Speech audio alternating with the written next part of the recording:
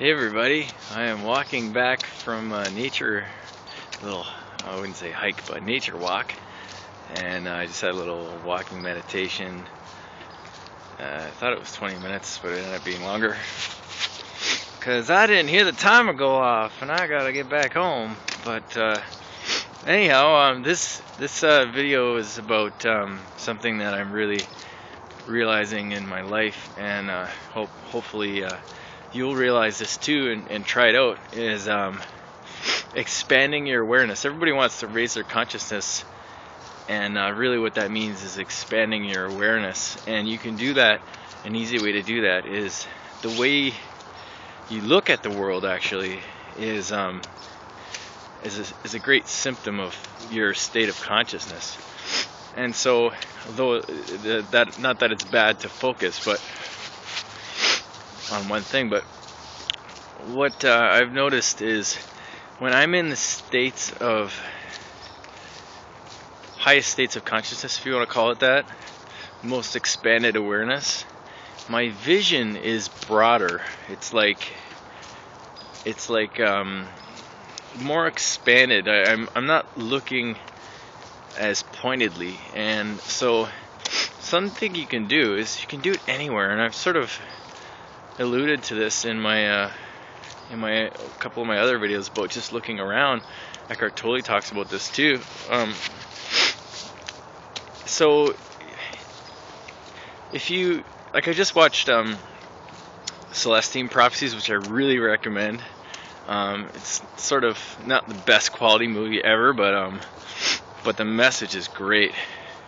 I love it, and uh, it, ta- it there's a scene in there where she gets the guy to hold his fingers together to look for the energy in between his fingers, and then she gets him to look into nature, and she's like, just relax your eyes, just just take it all in, and um, well, I haven't personally seen energy yet. I know people that do, and um, I feel it. And uh, so, anyhow, a way of getting out of the mind and raising your consciousness is just by um, uh, expanding your vision.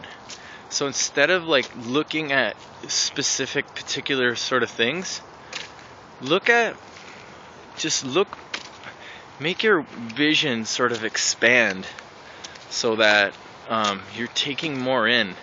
And, and it's not, you're not quite blurring your vision, but it's almost like that. It's like you just sort of, I don't know if you'll be able to tell the difference while I'm looking at the camera. Let's see. So now I'm looking directly at the camera. And now I'm sort of looking wider. I don't know if you can tell the difference. Let me know. I guess I'll watch it at some point. But um, so this is something you can do, and I mean, this is this is why we suffer anyhow, is because you know it's like for example with thought, when we hold on to a thought, when we cling to a thought, when we make it our focus, that's the only time we suffer. When when we see there are thoughts, there are you know, there's judgment here. I, I was judging that. Okay, I was, you know, I judged that just now or whatever. You know, then then it doesn't become such a big deal. You know, when you sort of distance yourself from the thoughts and just see them and uh, sort of expand your awareness so you can see ah you're not you're not trapped by the thinker anymore you're you're seeing the thinker because the thinker is not you. The thoughts are not you. They're not me. And anytime we get upset, it's because we've become the thinker. Or at least we've mistaken ourselves to be the thinker. And so this little exercise is something I'm going to continue doing. And, um, and I hope you'll uh, try it. So you just look around wherever you are. It can be nature. Nature's great because it's so big. It doesn't feel like a box like in your house, but you could do it in your house just as easily and just look around just just look and take in a wider perspective and your and your consciousness will will uh, become wider and you'll have a greater perspective of life. So I love you, and I will talk to you soon. Hope everybody has a lovely day, and uh, I hope this little tip is something that you'll take into your for the rest of your life, into your uh, days, and uh, just relax.